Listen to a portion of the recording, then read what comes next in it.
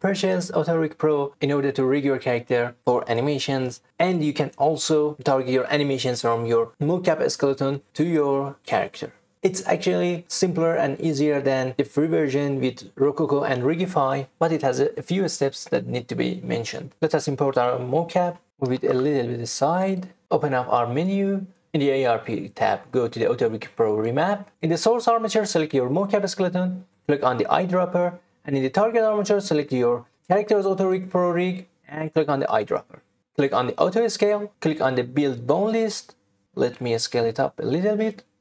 As you can see, the AutoRig Pro automatically identifies which bone is suitable for the mocap bone. Okay, let's click on the retarget and see what happens. As you can see, we have an error. The root bone must be marked first. We must find our root bone, in this case our hip bone, and click on this checkbox set as root. Let's go to the pose mode. In our rig, select this rig. As you can see, it's crootmaster.x, this bone here. Click on that and set as root. Click on retarget. The frames, it's fine, okay.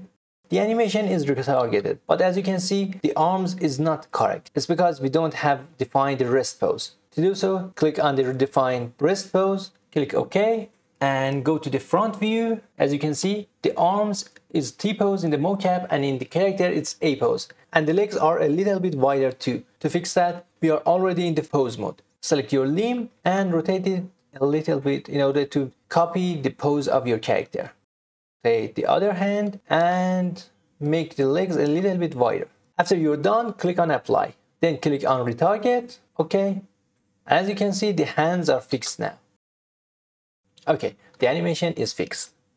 And as you can see, AutoRig Pro automatically changed everything to FK, retarget our model as it was an FK rig. You can change it, as you can see there are presets here. You can save by exporting your retargeting bones or import the retargeting bones if you want to use the AutoRig Pro add-on to retarget to other rigs. For example, if you use the AutoRig Pro add-on in order to retarget your mocap to Rigify or BlenRig or any custom rig that you have, you can save that in order to increase your speed in the later projects. But if you are using an AutoRig Pro rig, you can click here and these are the presets. As you can see, there are Mixamo rigs. FK arms and IK legs, FK arms and FK legs, and IK arms and IK legs. I want to change this targeting to IK rigs. So click on that, then click on the retarget. As you can see, the animation is retargeted to the IK rig.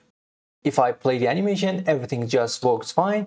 And if I need to tweak something, let's go to the pose mode. And if I move anything, as you can see, it's still an IK rig, not an FK rig.